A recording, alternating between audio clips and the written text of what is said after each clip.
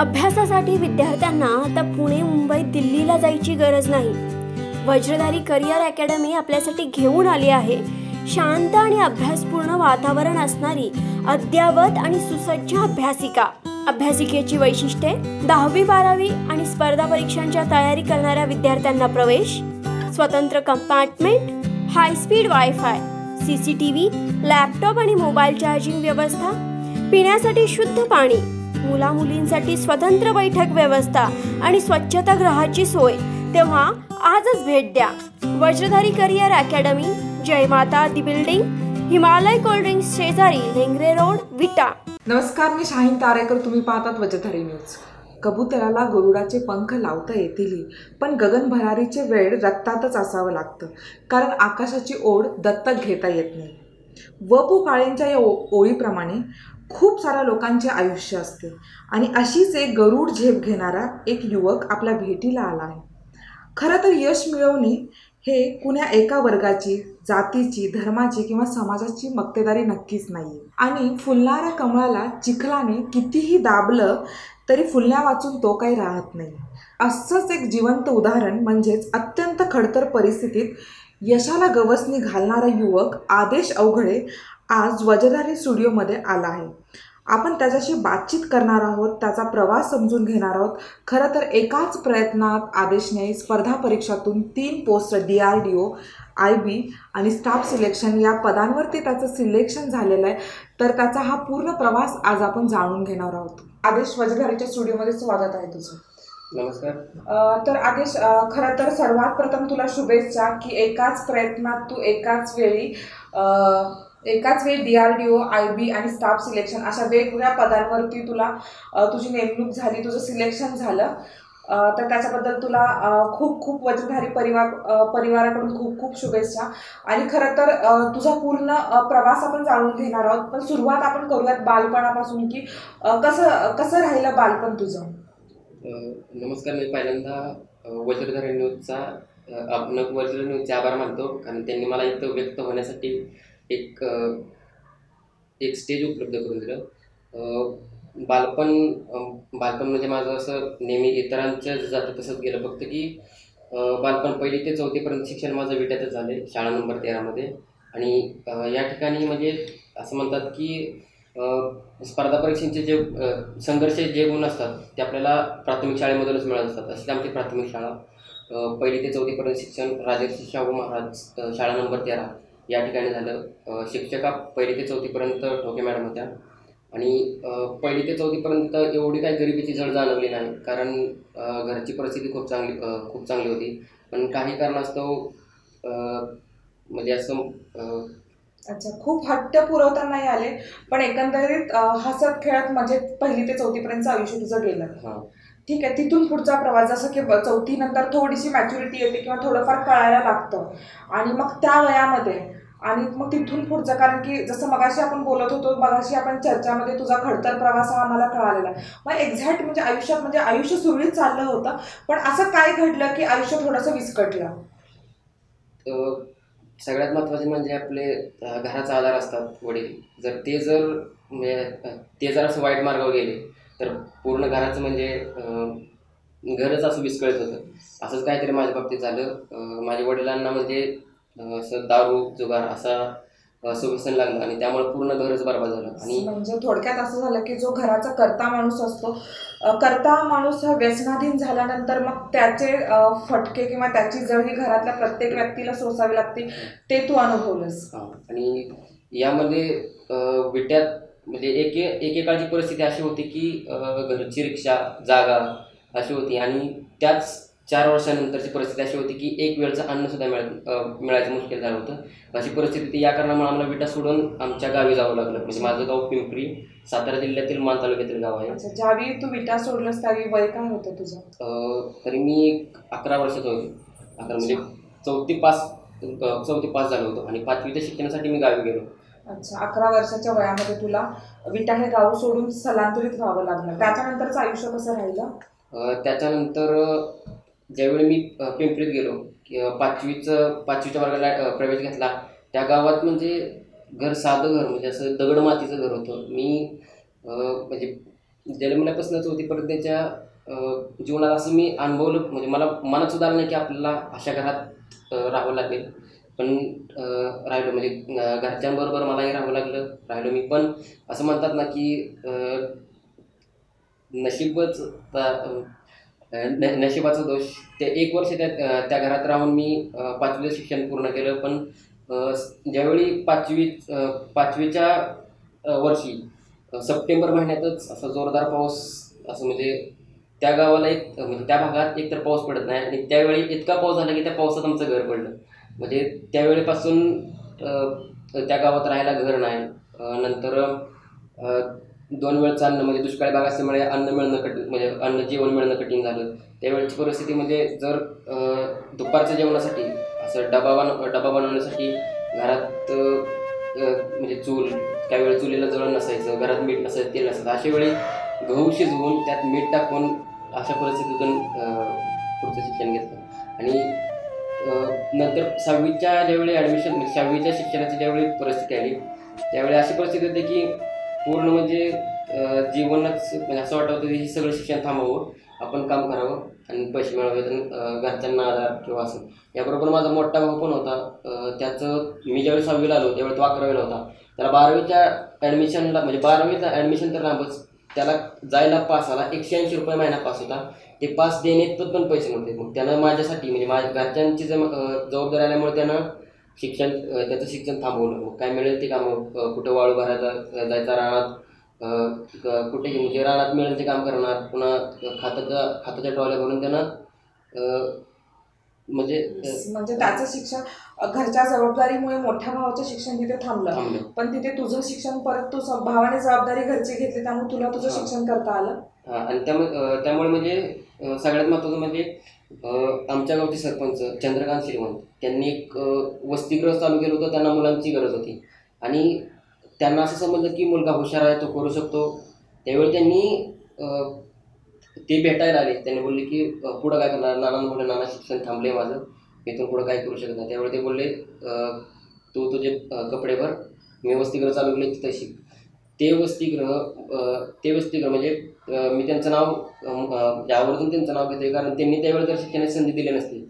तर आज जवादेश अवघडे तो म्हणजे असं पाहायला मिळाला नसता की म्हणजे खरं तर तीच वेळ होती की तिथे त्या वेळेला कुणीतरी तारणं त्या वेळेला कुणीतरी मदतीचा हात देणं गरजेचं होतं. आणि त्यावेळेला ती व्यक्ती तुझ्या आयुष्यामध्ये आली आणि त्यांनी तुला मदतीचा हात दिला.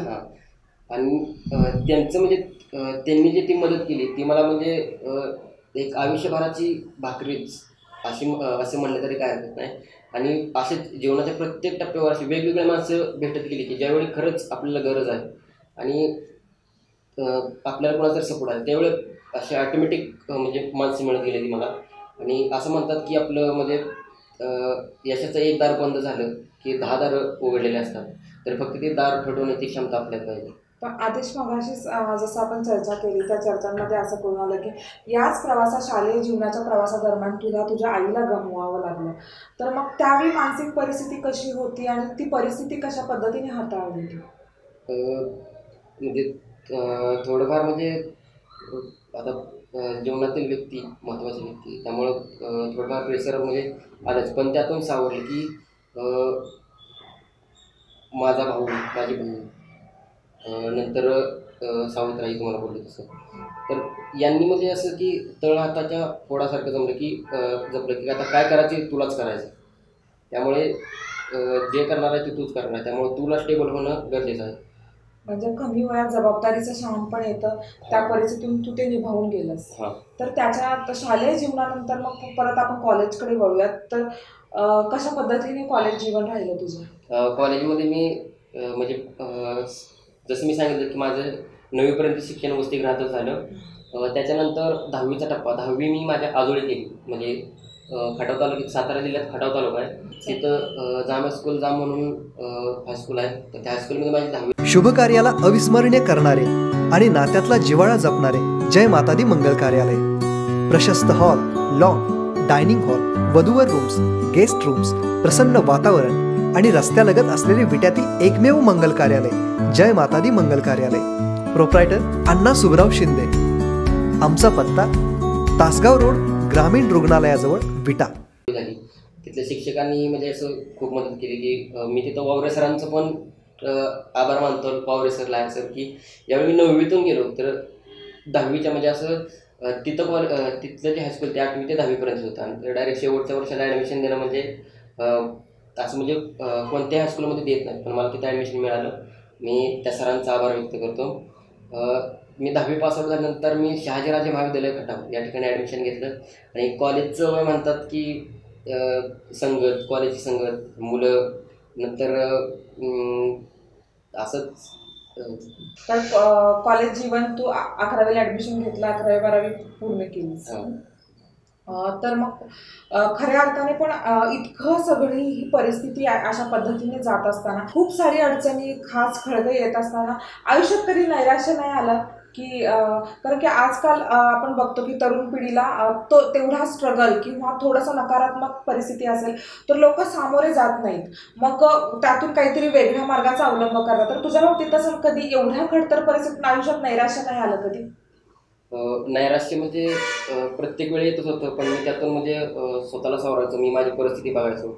माझ्या कुटुंबाकडे बघायचं कुटुंबाने माझ्याकडे एकमेव आधार म्हणून पाहिलं होतं की हा शिकेल हा काहीतरी करेल.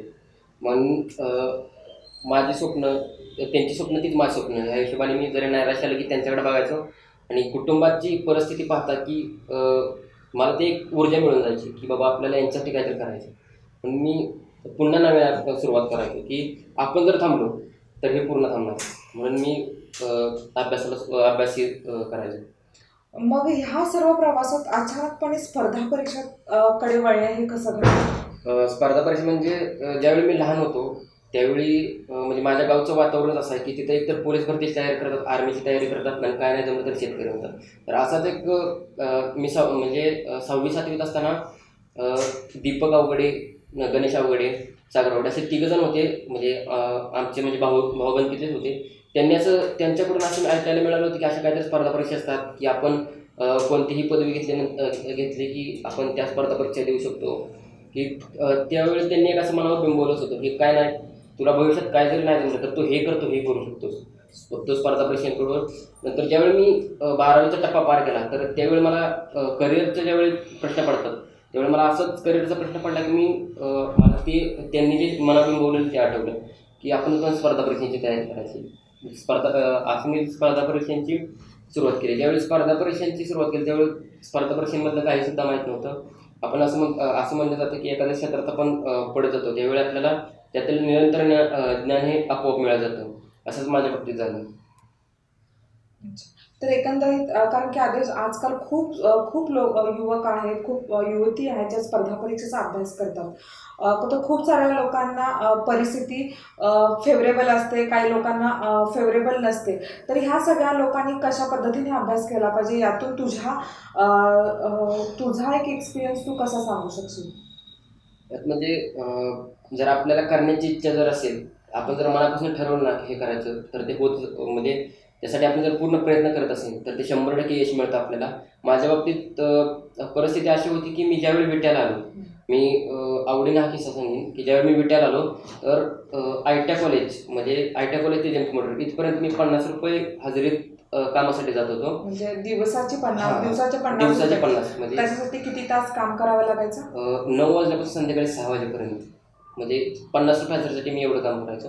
मी फक्त त्याचा आशेवर बस बसायचो की ते पंधराशेमध्ये मला पुस्तक घेता येतील किंवा मला मी फक्त पुस्तकाचाच खर्च म्हणजे इतर जेवणाचा वगैरे खर्च असं की हालाकीची परिस्थिती म्हणजे पोटमारा व्हायचा. हे फक्त मी ते पुस्तकांसाठीच काम करायचो मी.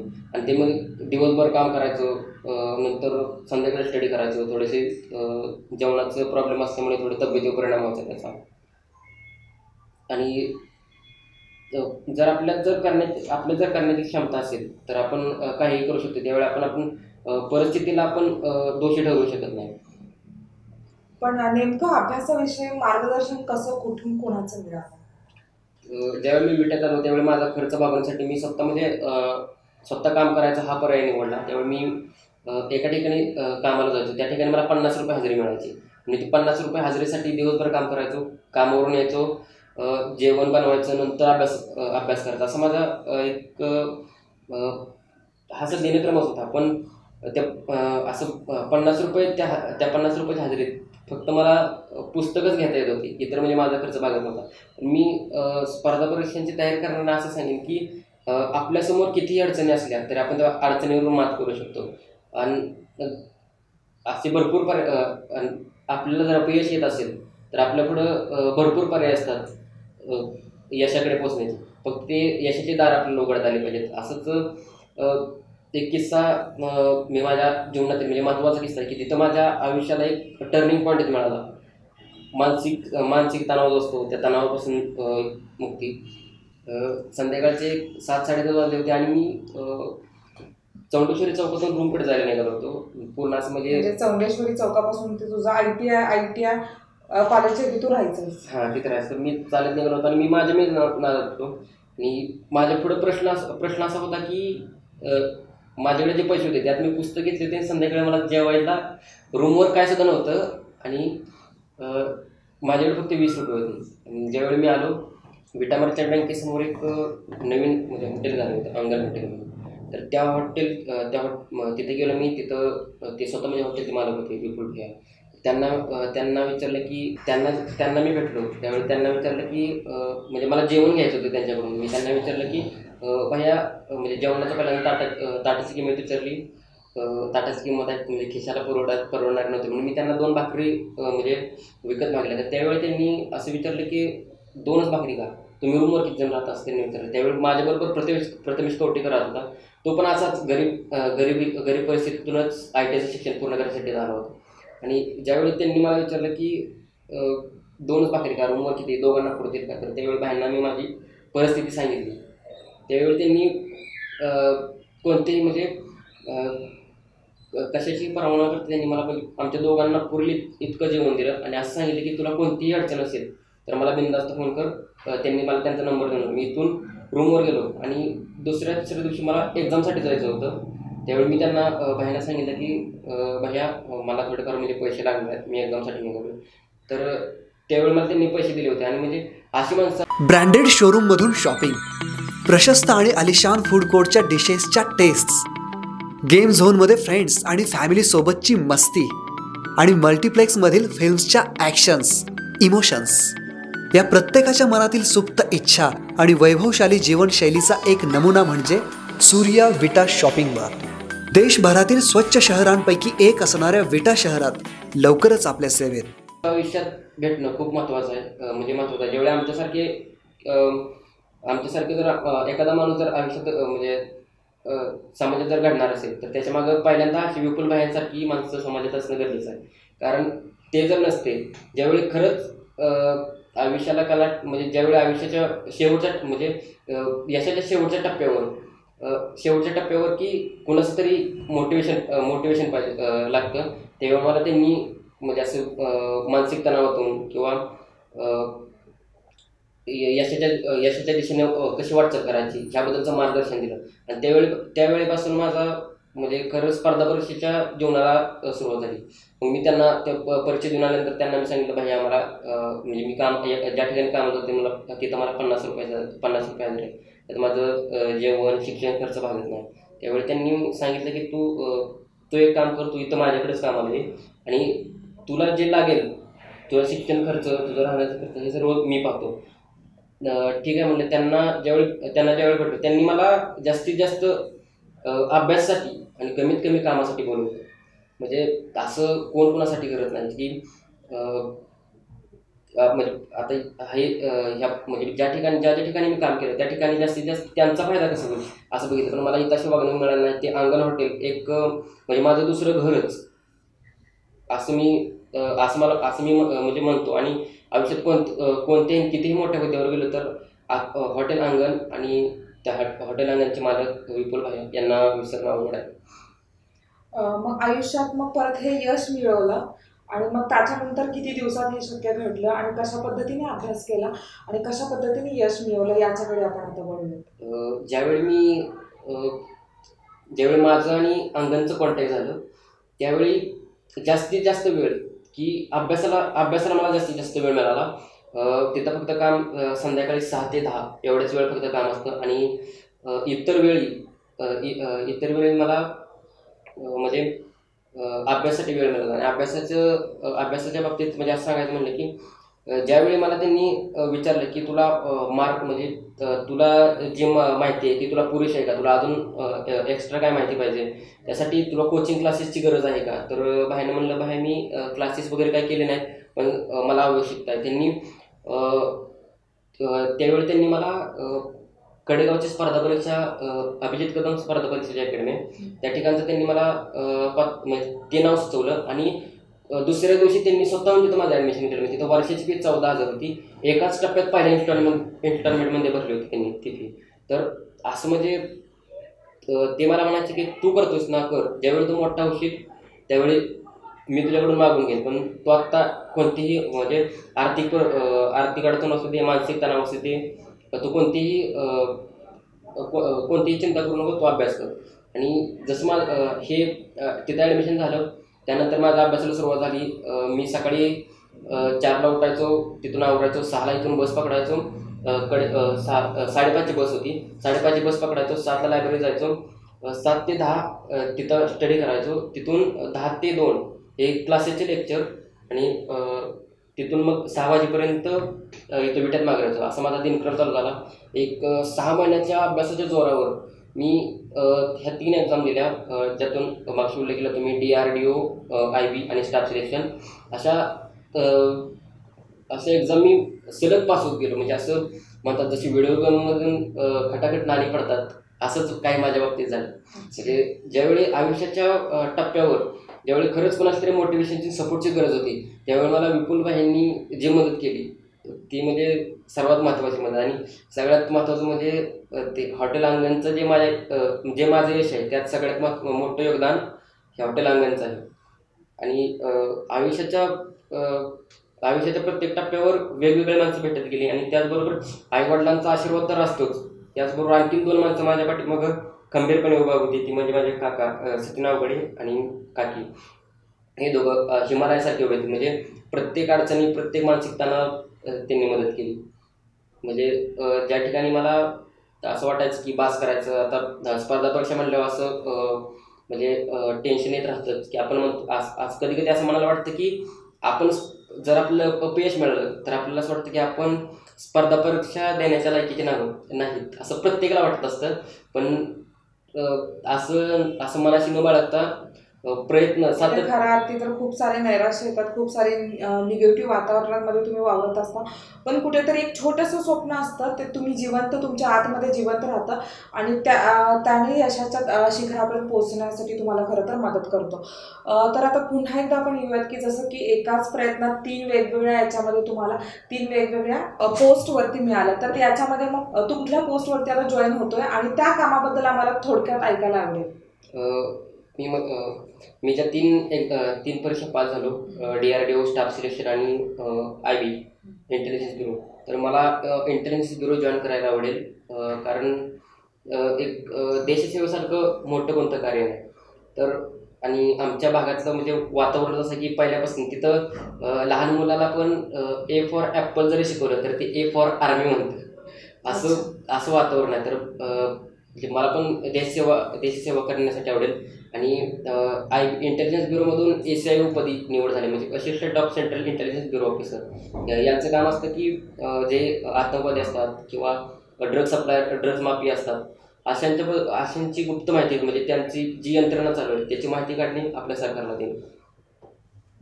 खूप खरं तर देशसेवेसारखं काम नाही आहे आणि खरं जिथे पिढी ए फॉर ॲपलला म्हणतात जिथे पिढी ए फॉर आर्मी म्हणून शिकली तर यांच्याकडून वेगळी काय अपेक्षा करणार? खरं तर ही खरं समाजातली खरे हिरो आहेत. खरं जिवंत साहसाचे शौर्याचे खरे समाजातली ही ज्याला आपण म्हणूयात की जिवंत उदाहरण आहात. खरं तर आदेश तुझा खूप मोठा प्रवास आहे खूप खडतर प्रवास आहे.